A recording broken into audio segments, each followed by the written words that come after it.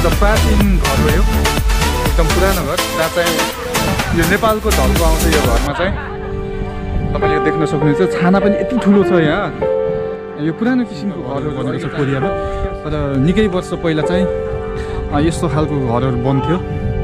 तपाईँले देख्न सक्नुहुन्छ। अनि यो दाउरा छ। यो दाउरा चाहिँ कोरियामा एकदमै जाडो हुन्छ। त्यो जाडोको लागि चाहिँ बचत गरिएर राखिएको यो दाउरा चाहिँ।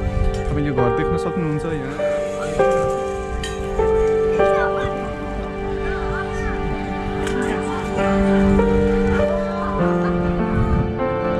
चाहिँ मलखात मलखात जस्तो हो यो। यो ढुङ्गाहरू देख्न सक्नुहुन्छ वरिपरि पारेर राखेको छ। अनि यो चाहिँ यहाँ चाहिँ एउटा मल जस्तो राखिएको छ। यो के हो मलाई थाहा भएन। पुरानो किसिमको एकदमै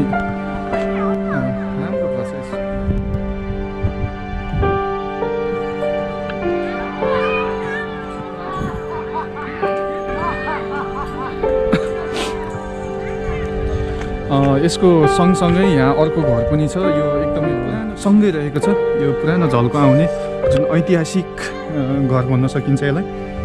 अनि यो भित्र चाहिँ किचन पनि छ यहाँ। जुन चाहिँ भान्साघरको लागि युज हुने।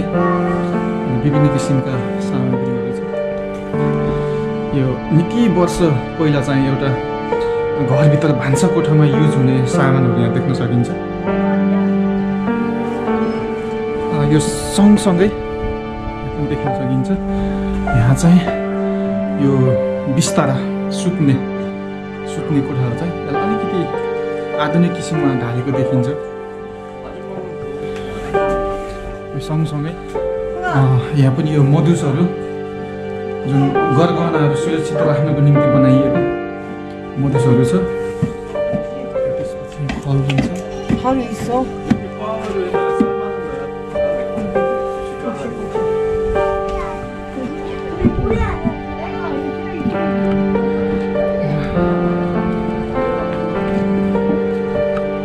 लगत्तै म तपाईँलाई अर्को घरमा पनि देखाउन चाहन्छु यो ढुङ्गाले पत्ता लगाएको एकदमै अ, रमाइलो एकदम पुरानो झल्का आउने किसिमको घरहरू हुन्छ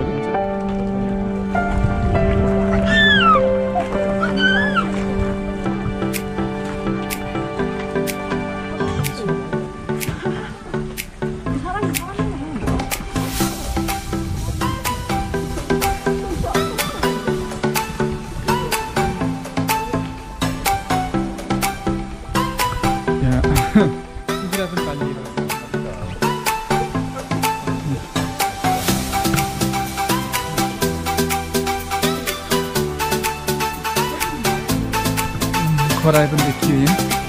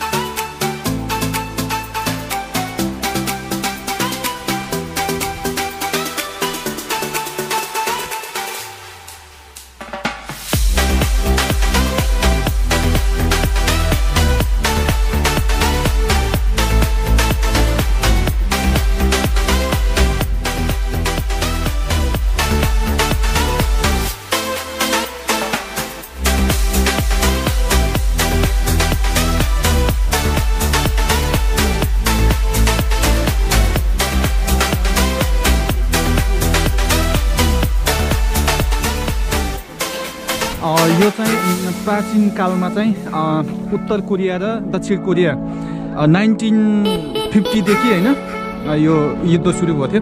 अनि त्यतिखेरको क्रममा चाहिँ युज हुनेहरू पुरातात्विक यो हतियारहरू यो यसलाई युद्ध हुँदाखेरि हान्नको लागि चाहिँ युज हुने मेसिनहरू जुन यहाँ देख्न सकिन्छ। यो ठाउँ हो कोरियाको सिङसङ नामदो। ससान्तिको हेम खोमन पाहाडको हो होइन? यहाँ विभिन्न किसिमका पुराना किसिमका घरहरू पनि देख्न सकिन्छ। हो यो।